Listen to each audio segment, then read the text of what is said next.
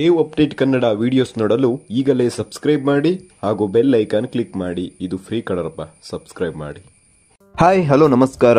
ನಾನು ದೇವರಾಜ್. ನೀವು ನೋಡ್ತಿರೋದು Dev update Kannada YouTube channel ಕನ್ನಡದಲ್ಲಿ ಶಿಕ್ಷಣ ಮತ್ತು ಉದ್ಯೋಗಕ್ಕೆ ಸಂಬಂಧಿಸಿದ ಎಲ್ಲ ಅಪ್ಡೇಟನ್ನು ತಿಳಿಸ್ಕೊಡುವಂಥ ಒಂದು ಪ್ರಾಮಾಣಿಕ ಪ್ರಯತ್ನ ನಮ್ದಾಗಿರುತ್ತೆ. ಅದಕ್ಕೆ ನೀವು ನಮ್ಮ ಚಾನಲ್ಗೆ ತಪ್ಪದೇ ಸಬ್ಸ್ಕ್ರೈಬ್ ಆಗಿ, ಹಾಗೆ ಬೆಲ್ಲೈಕನನ್ನು ಕ್ಲಿಕ್ ಮಾಡಿ ಆಲ್ ನೋಟಿಫಿಕೇಶನ್ ಆನ್ ಮಾಡ್ಕೊಳ್ಳಿ. ಬನ್ನಿ, ಹಾಗಾದ್ರೆ ಇವತ್ತಿನ ಪ್ರಮುಖ ಶೈಕ್ಷಣಿಕ ಸುದ್ದಿಗಳು ಏನೇನಿದೆ ಎಲ್ಲವನ್ನ ನೋಡ್ಕೊಬರೋಣ ದಿನದ ಪ್ರಮುಖ ಹಾಗೆ ಮೊದಲ ಅಪ್ಡೇಟ್ ಬರ್ತಿದೆ. ಕೊರೋನಾ ಕಾರಣದಿಂದಾಗಿ ಶಾಲೆ ಇಲ್ಲದೆ ಮನೆಯಲ್ಲೇ ಉಳಿದಿರುವಂತ ವಿದ್ಯಾರ್ಥಿಗಳಿಗೆ ಒಂದು ಗುಡ್ ನ್ಯೂಸ್ ಇದೆ. ಸರ್ಕಾರ ನಿಮಗಾಗಿ ಒಂದು ಹೊಸ ಯೋಜನೆಯನ್ನ ತರಲು ಪ್ಲಾನ್ ಮಾಡಲಾಗಿದೆ ಅನ್ನುವಂತ ಒಂದು ಮಾಹಿತಿ ಇದೆ.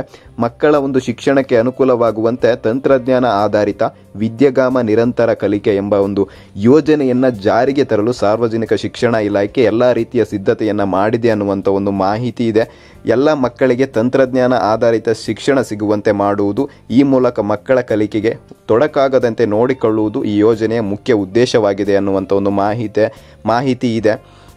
ನಿಮಗೆ ಗೊತ್ತಿರ್ಬೋದು ಗ್ರಾಮ ಆಗಿರ್ಬೋದು ಅಥವಾ ಪಟ್ಟಣ ಆಗಿರ್ಬೋದು, ಗುಡ್ಡಗಾಡು ಪ್ರದೇಶದಲ್ಲಿ ಆಗಿರ್ಬೋದು ಅಥವಾ ಹಳ್ಳಿಗಳಲ್ಲಾಗಿರ್ಬೋದು ಅರಣ್ಯದಾಚಿನ ಒಂದು ಪ್ರದೇಶದಲ್ಲಿ ಮಕ್ಕಳಿಗೆ ಒಂದು ಫೋನ್ ವ್ಯವಸ್ಥೆ ಇಲ್ಲದೆ ಇರ್ಬೋದು, ಅವರ ಒಂದು ಕಲಿಕೆಗೆ ಯಾವುದೇ ರೀತಿ ತೊಂದರೆ ಆಗಬಾರ್ದು ಅನ್ನುವಂಥ ಒಂದು ಉದ್ದೇಶವನ್ನು ಇಟ್ಕೊಂಡು ಈ ಯೋಜನೆಯನ್ನು ಜಾರಿಗೆ ತರಲಾಗುವುದು ಅಂತ ಸಾರ್ವಜನಿಕ ಒಂದು ಶಿಕ್ಷಣ ಇಲಾಖೆಯ ಜೊತೆಗೆ ಸಚಿವ ಸುರೇಶ್ ಕುಮಾರ್ ಸಹ ತಿಳಿಸಿದ್ದಾರೆ. ಈ ಯೋಜನೆಯನ್ನು ಆದಷ್ಟು ಬೇಗ ನಾವು ಜಾರಿಗೆ ತರ್ತೀವಿ.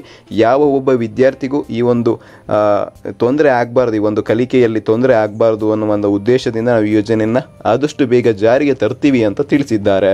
ನಮ್ಮ ಮುಂದಿನ, ಅಂದ್ರೆ ಎರಡನೇ ಅಪ್ಡೇಟ್ ಬರ್ತಿದೆ. ಎರಡ್ ಸಾವಿರದ ಹತ್ತೊಂಬತ್ತರ ಒಂದು ನಾಗರಿಕ ಸೇವಾ ಪರೀಕ್ಷೆಗಳ ಅಂತಿಮ ಫಲಿತಾಂಶವನ್ನ ಕೇಂದ್ರ ಸಾರ್ವಜನಿಕ ಸೇವಾ ಆಯೋಗ ಯುಪಿಎಸ್ಸಿ ಮಂಗಳವಾರ ಪ್ರಕಟಿಸಿದ್ದು, ಎಂಟುನೂರ ಇಪ್ಪತ್ತೊಂಬತ್ತು ಆಕಾಂಕ್ಷಿಗಳು ಉತ್ತೀರ್ಣರಾಗಿದ್ದಾರೆ ಅನ್ನುವಂತ ಒಂದು ಮಾಹಿತಿ ಇದೆ.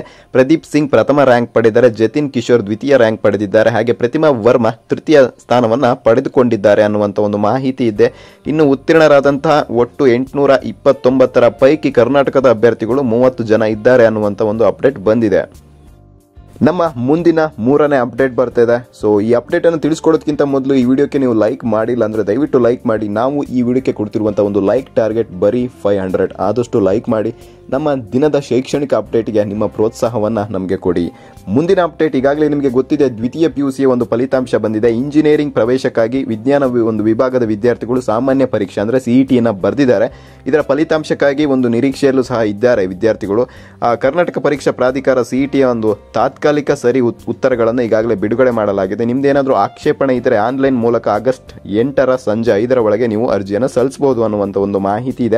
ಹೆಚ್ಚಿನ ಮಾಹಿತಿ ಹಾಗೆ ಕೀ ಉತ್ತರಗಳಿಗಾಗಿ ಕರ್ನಾಟಕ ಪರೀಕ್ಷಾ ಪ್ರಾಧಿಕಾರ ವೆಬ್ಸೈಟನ್ನು ನಾನು ಇಲ್ಲಿ ನಿಮಗೆ ಡಿಸ್ಕ್ರಿಪ್ಷನಲ್ಲಿ ಕೊಟ್ಟಿರ್ತೀನಿ ಅಥವಾ ಸ್ಕ್ರೀನ್ ಮೇಲೆ ಡಿಸ್ಪ್ಲೇ ಮಾಡ್ತಾ ಇರ್ತೀನಿ. ಅಲ್ಲಿಗೆ ಹೋಗಿ ನಿಮ್ಮ ಆಕ್ಷೇಪಣೆಗಳನ್ನು ಒಂದು ವರ್ಷನ್ ಕೋಡ್ ಮೂಲಕ ನೀವು ಹಾಗೆ ಒಂದು ಪ್ರಶ್ನೆ ಪತ್ರಿಕೆಯ ಒಂದು ಸಂಖ್ಯೆ ಜೊತೆಗೆ ನೀವು ವಿವರಗಳೊಂದಿಗೆ ಸಲ್ಲಿಸಬಹುದು ಅನ್ನುವಂಥ ಒಂದು ಮಾಹಿತಿಯನ್ನು ಸಿಇಟಿಯ ಒಂದು ಬೋರ್ಡ್ ಕೊಟ್ಟಿದೆ. ನಮ್ಮ ಮುಂದಿನ ಅಪ್ಡೇಟ್ ಕಡೆ ಗಮನ ಹರಿಸೋದಾದ್ರೆ ತುಂಬಾ ಪೋಷಕರು ಹಾಗೆ ವಿದ್ಯಾರ್ಥಿಗಳು ಕೇಳ್ತಾ ಇದ್ರು, ಸರ್ ಈಗಾಗಲೇ ಜುಲೈ ತಿಂಗಳು ಮುಕ್ತಾಯವಾಗಿದೆ. ಆಗಸ್ಟ್ ಆದರೂ ಶಾಲೆ ಆರಂಭ ಆಗ್ಬೋದಾ? ದಯವಿಟ್ಟು ಮಾಹಿತಿಯನ್ನು ತಿಳಿಸ್ಕೊಡಿ ಅಂತ ಸೊ ಅಂತಹ ಪೋಷಕರು ಹಾಗೆ ವಿದ್ಯಾರ್ಥಿಗಳಿಗೆ ತಿಳಿಸ್ಕೊಡ್ತಾ ಇದ್ದೀವಿ ಒಂದು ಸರ್ಕಾರದ ಒಂದು ಮಾರ್ಗಸೂಚಿಯ ಪ್ರಕಾರ ಆಗಸ್ಟ್ ಮೂವತ್ತೊಂದು, ಎರಡು ಸಾವಿರದ ಇಪ್ಪತ್ತರವರೆಗೆ ರಾಜ್ಯಾದ್ಯಂತ ಯಾವುದೇ ರೀತಿಯ ಶಾಲೆಯನ್ನು ನಾವು ತೆರೆಯಲ್ಲ ಅಂತ ಒಂದು ಆದೇಶ ಬಂದಿದೆ. ಈ ಇದ್ರ ಪ್ರಕಾರ ನಿಮಗೆ ಆಗಸ್ಟ್ ಮೂವತ್ತೊಂದರವರೆಗೆ ಯಾವುದೇ ಶಾಲೆ, ಕಾಲೇಜುಗಳನ್ನು ಓಪನ್ ಮಾಡೋದಿಲ್ಲ ಅಂತ ಶಿಕ್ಷಣ ಇಲಾಖೆ ತಿಳಿಸಲಾಗಿದೆ. ಮುಂದಿನ ಅಪ್ಡೇಟ್ ಬರ್ತಿದೆ. ಇದು ಎಸ್ ಎಸ್ ಎಲ್ ಸಿ ವಿದ್ಯಾರ್ಥಿಗಳಿಗೆ. ಈಗಾಗಲೇ ಎಸ್ ಎಸ್ ಎಲ್ ಸಿ ಪರೀಕ್ಷೆನ ಬರೆದಿದ್ದೀರಾ? ಕನಸುಗಳನ್ನು ಹೊತ್ಕೊಂಡು ನಿರೀಕ್ಷೆಯಲ್ಲಿ ಈ ಒಂದು ರಿಸಲ್ಟ್ಗೆ ಕಾಯ್ತಾ ಇದ್ದೀರಾ? ಅಂತಹ ವಿದ್ಯಾರ್ಥಿಗಳಿಗೆ ಒಂದು ಗುಡ್ ನ್ಯೂಸ್ ಇದೆ ಅಂತಾನೆ ಹೇಳ್ಬೋದು. ಈಗಾಗಲೇ ಒಂದು ಮೌಲ್ಯಮಾಪನ ಒಂದು ಪ್ರಕ್ರಿಯೆ ಏನಿದೆ ಅದೆಲ್ಲ ಪೂರ್ಣವಾಗಿದೆ. ಒಂದು ತಾಂತ್ರಿಕ ಕೆಲಸ ಅಂದರೆ ಈ ಒಂದು ಸರ್ವರ್ ಆಗಿರ್ಬೋದು ಅಥವಾ ಒಂದು ವೆಬ್ಸೈಟಿಗೆ ಅಪ್ಲೋಡ್ ಮಾಡುವಂಥ ಒಂದು ಪ್ರಕ್ರಿಯೆ ಜಾರಿಯಲ್ಲಿದೆ ಅನ್ನುವಂಥ ಒಂದು ಮಾಹಿತಿ ಇದೆ.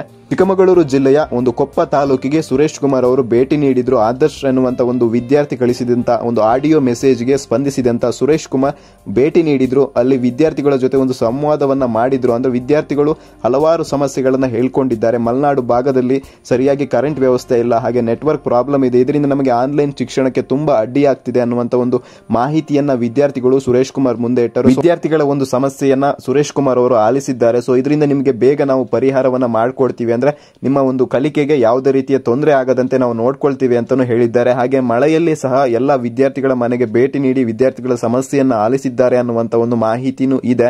ಸೊ ಅವರು ನಿನ್ನೆ ಒಂದು ಅಪ್ಡೇಟ್ ಅನ್ನ ಕೊಟ್ಟರು ಅಂದ್ರೆ ಕೊಳೆಗಾಲದಲ್ಲಿ ಏನ್ ಹೇಳಿದ್ರು ಅಂದ್ರೆ ಆರು ಅಥವಾ ಎಂಟನೇ ತಾರೀಕು ನಾವು ರಿಸಲ್ಟ್ ಅನ್ನ ಕೊಡ್ತೀವಿ. ಅಂದ್ರೆ ಫಲಿತಾಂಶವನ್ನ ಕೊಡ್ತೀವಿ ಅಂದಿದ್ರು. ಆದರೆ ನಿನ್ನೆ ಮತ್ತೊಂದು ಅಪ್ಡೇಟ್ ಅನ್ನ ಕೊಟ್ಟರು ರಿಸಲ್ಟ್ ಯಾವಾಗ ಅಂತ ಕೇಳಿದಾಗ ನಾವು ಏಳು ಅಥವಾ ಎಂಟನೇ ತಾರೀಕು ರಿಸಲ್ಟ್ ಕೊಡ್ತೀವಿ ಅಂತ ಹೇಳಿದ್ದಾರೆ. ಅಂದ್ರೆ ಆರನೇ ತಾರೀಕು ಬರೋದಿಲ್ಲ ಅನ್ನುವಂತ ಒಂದು ಮಾಹಿತಿನೂ ಇರ್ಬೋದು ಅಥವಾ ಏಳನೇ ತಾರೀಕು ಅಥವಾ ಎಂಟನೇ ತಾರೀಕು ನಾವು ರಿಸಲ್ಟ್ ಅನ್ನ ಕೊಡ್ತೀವಿ ಅಂತ ಹೇಳಿದ್ದಾರೆ. ಅಂದ್ರೆ ನಮ್ಮ ಪ್ರಕಾರವಾಗಿ ಎಂಟನೇ ತಾರೀಕು ರಿಸಲ್ಟ್ ಬರುವಂತ ಸಾಧ್ಯತೆ ಹೆಚ್ಚಿದೆ ಅಂತ ಹೇಳಬಹುದಾಗಿದೆ. ಇದು ಚಿಕ್ಕಮಗಳೂರು ಜಿಲ್ಲೆ ಕೊಪ್ಪ ತಾಲೂಕಿನಲ್ಲಿ ಏರ್ಪಡಿಸಿದಂತ ಒಂದು ಸಂವಾದದ ವೇಳೆ ಮೂರು date ಅಲ್ಲಿದ್ದಂತ S S L C date ಅನ್ನ ಎರಡು ಡೇಟ್ಗೆ ಇಳಿಸಿದ್ದಾರೆ. ಅಂದ್ರೆ ಏಳು ಅಥವಾ ಎಂಟು ಅನ್ನುವಂತ ಒಂದು ಎರಡು ಡೇಟ್ ಅನ್ನ ಸುರೇಶ್ ಕುಮಾರ್ ಅವರು ತಿಳಿಸಿದ್ದಾರೆ. ಹೆಚ್ಚಿನ ಪಕ್ಷ ಎಂಟನೇ ತಾರೀಕು ಈ ಒಂದು ರಿಸಲ್ಟ್ ಬರುವಂತ ಸಂಭವ ಹೆಚ್ಚಿದೆ ಅಂತ ನಾವು ಹೇಳ್ತಾ ಇದ್ದೀವಿ. ಸೊ ಈ ಎಲ್ಲ ಅಪ್ಡೇಟನ್ನು ಕೊಡ್ತಾ ಇಂದಿನ ಒಂದು ಶೈಕ್ಷಣಿಕ ಅಪ್ಡೇಟನ್ನು ಈಗ ಮುಗಿಸ್ತಾ ಇದ್ದೀನಿ. ನಮ್ಮನ್ನು ನೀವು ಡೈಲಿ ಹಂಟ್ ಹಾಗೆ ಟ್ವಿಟರ್ ಇನ್ಸ್ಟಾಗ್ರಾಮ್ನಲ್ಲೂ ಸಹ ಫಾಲೋ ಮಾಡ್ಬೋದು. ಅಲ್ಲಿ ಸಹ ನಾವು ಆ್ಯಕ್ಟಿವ್ ಆಗಿರ್ತೀವಿ. ಅಲ್ಲೂ ಸಹ ಅಪ್ಡೇಟನ್ನು ಕೊಡ್ತಾ ಇರ್ತೀವಿ ಅಂತ ಹೇಳ್ತಾ ಇವತ್ತಿನ ಅಪ್ಡೇಟನ್ನು ಇಲ್ಲಿಗೆ ಮುಗಿಸ್ತಾ ಇದ್ದೀನಿ.